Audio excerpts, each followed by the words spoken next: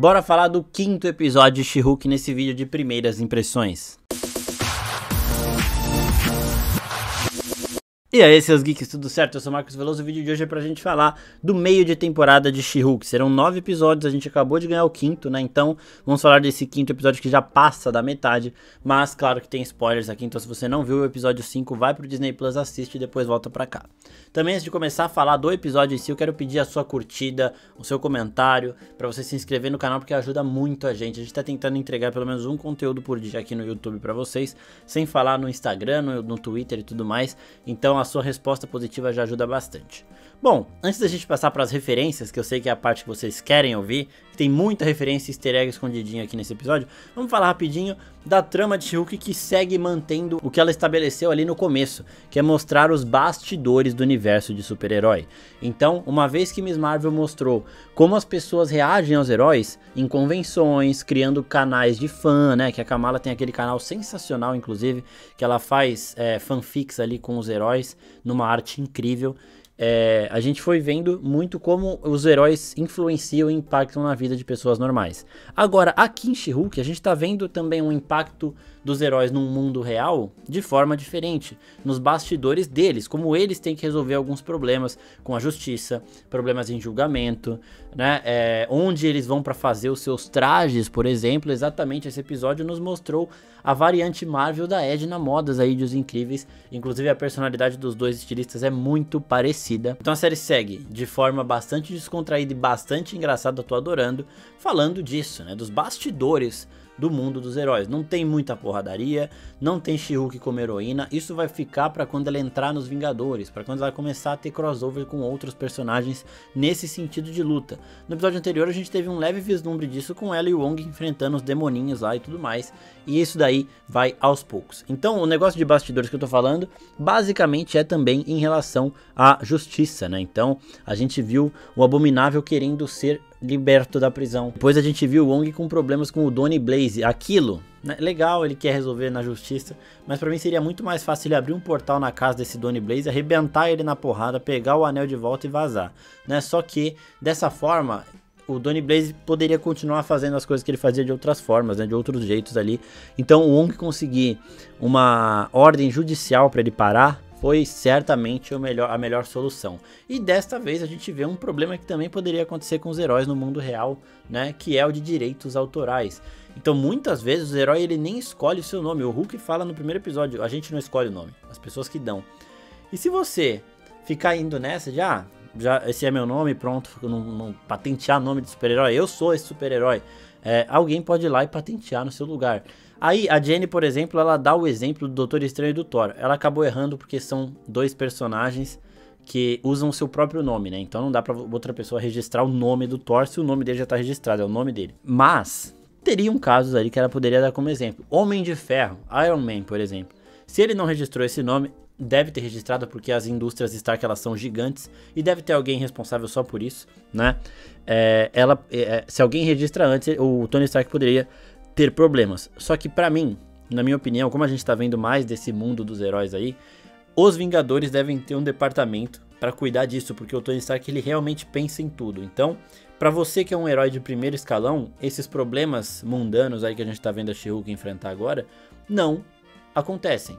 Então, você não precisa procurar um estilista para fazer o seu traje, porque o Tony Stark vai providenciar o seu traje. Você não precisa se preocupar em registrar o seu nome, porque algum advogado das indústrias Stark que financiam os Vingadores vai registrar o seu nome. Só que isso não acontece com todos os heróis, apenas com o primeiro escalão. A gente tem que lembrar que os heróis que a gente viu até agora são o primeiro escalão deste universo. Né? Eles são os Vingadores. Tem milhares, centenas de heróis aí que são um nível abaixo. A Titânia é uma super-humana que é uma influenciadora. Ela não é vingador, ela não consegue as coisas com o Tony Stark ali protegendo, com toda uma equipe judicial por trás.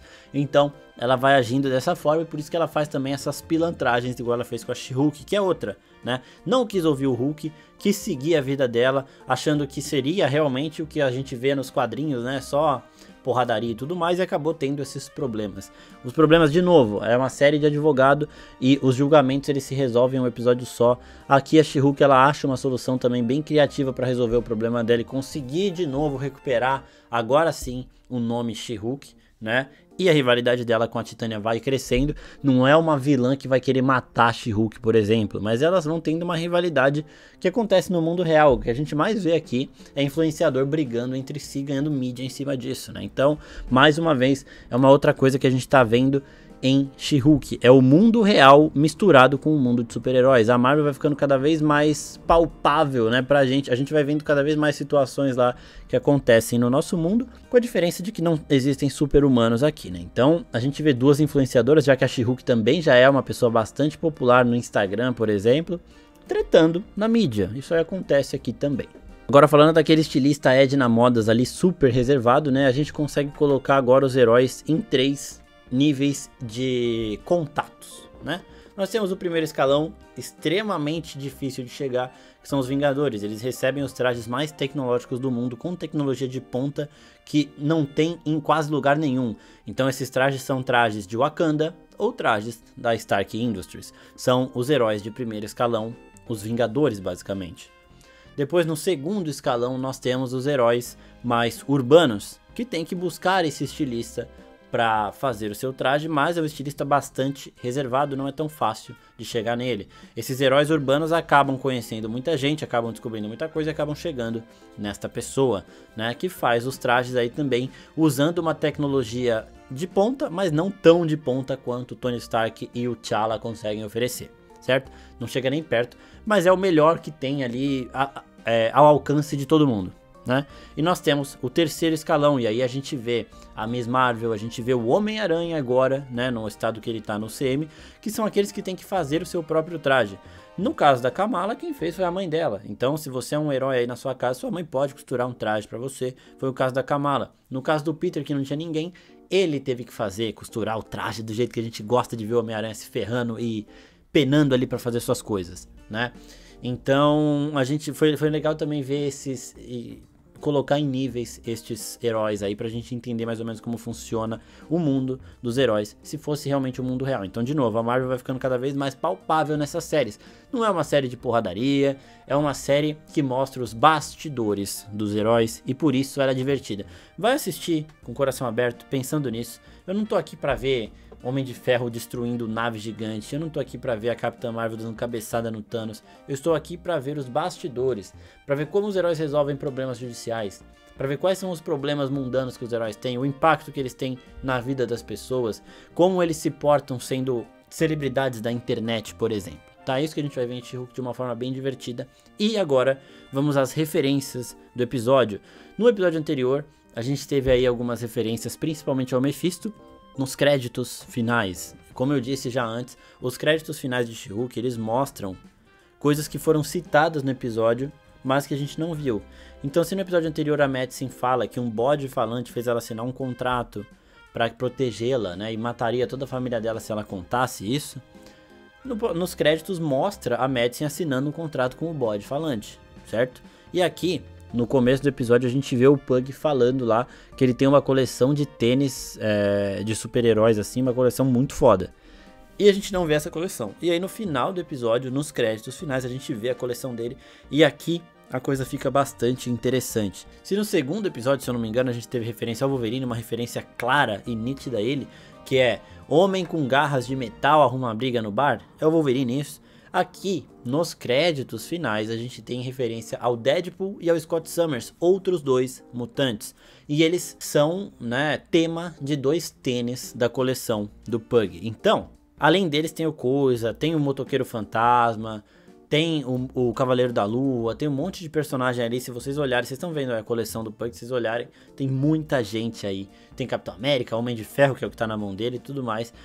Então, se o Coisa o Scott Summers, o Deadpool e o Motoqueiro Fantasma já são famosos o suficiente para terem tênis licenciados, eles já existem nesse mundo há muito tempo. Considerando que os créditos finais mostram realmente o que aconteceu da forma que aconteceu no episódio, só que a gente não viu, esses personagens já existem. Caso esse esse crédito final seja apenas uma especulação de como seria o quarto do Pug, por exemplo, sendo uma arte conceitual, Aí não, mas eu acho muito difícil isso acontecer. Então eu acho que realmente eles já são é, personagens, personas existentes nesse universo, não tão famosas quanto os Vingadores, mas que vão acabar sendo mostradas. E eu digo isso porque o Kevin Feige deu uma declaração falando que o filme do Quarteto Fantástico não seria um filme de origem. Ele fez a mesma coisa com Homem-Aranha, não mostrou de novo o tio Ben morrendo nem nada. Ele já falou, as pessoas já sabem como o quarteto surge, a gente não precisa mostrar isso de novo. O que eu quero ver é como ele vai fazer para esses personagens já estarem neste universo, tendo produtos licenciados inspirados neles, sem que a gente conhecesse até agora, né? Isso vai ser meio complicado, mas eu não duvido que o Kevin Feige faça e também não duvido que ele se prenda em uma em um frame de uma cena pós-créditos de She-Hulk. Então, tipo, ai, o Scott Summers vai precisar chegar e já vai ser famoso. Eu não sei se ele usaria isso, mas se tá aqui é bem provável que ele use sim. Então o Wolverine ainda não é tão famoso, não, não me engano, eu não sei se tem um tênis Wolverine ali. Depois eu vou olhar com mais calma para ver todos esses heróis que são inspirações para tênis. Mas esses personagens que eu já citei estão ali, então eles teriam que já ser famosos neste universo. A gente vai começar a entender mais disso quando os mutantes principais começarem a aparecer porque eles já foram citados. Wolverine é citado, a Kamala é uma mutante, então os mutantes já estão por aí. E o Quarteto Fantástico vai ganhar um filme. Matt Shackman, que dirigiu episódios de Game of Thrones e também foi o diretor de WandaVision, vai dirigir o filme do Quarteto Fantástico. O próximo passo agora, espero eu que seja anunciado durante a CCXP, né, que é no final do ano, é o elenco do Quarteto Fantástico. Então a gente vai ter esse elenco aí chegando para em 2024 ou 2025 o filme do quarteto sair e a gente entender melhor como que o Ben Green, o Coisa, já tem um tênis licenciado no nome dele aqui na época de She-Hulk. Bom, as referências são essas, é muito legal, a série vem nesse tom aí também cômico, divertido, não é uma série de porrada, não é uma série do gênero de super-herói. É, de novo, como a Jane sempre reforça, uma série de advogado.